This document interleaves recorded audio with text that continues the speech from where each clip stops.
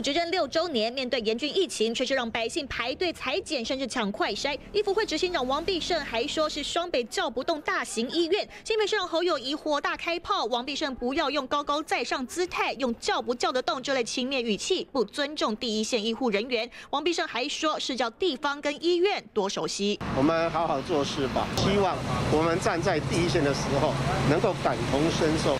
卫福部政务官指手画脚，百万人民选出来的首长，难道真把自己当成大长官？政界解读陈时中即将去选举，王必胜大动作，是想接班，参与一些政策的规划跟讨论。我基本上他的工作都是在第一线，申请卫福部长的位置啊，我现在还在当部长啊。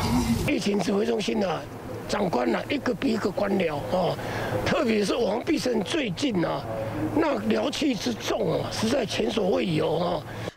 裁剪排队怪地方首长，就连法传系统大塞车，一堆人拿不到居格单。指挥中心都说是因为民众手机号码填错才慢这么多拍。中央政策出问题，怎么大官怪的不是人民就是百姓？跟卫福部的长官们就因此来骄傲了，所以让人觉得有高高在上的这种感觉，仿佛都是民众的错，都是地方政府的错，不是一出事了就怪东怪西，只会练练瓜消微哈。这个时候居然还可以两手一摊，怪东怪西，授权给你，还给你这么大的权利，你们自己没有善尽应该要有的职责。执政者的防疫政策狂出错，怪地方，怪在野党，甚至怪百姓，周派家人民心中认为让民进党执政才是最大的错。借杨世旭、李璇台北报道。想与病毒共存的话，当然要必须要配套啊。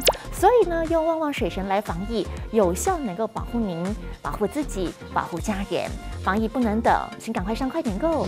买的时候记得呢，输入呢秀秀的推荐代码 CTI 六六六 CTI 六六六，希望大家做好防疫。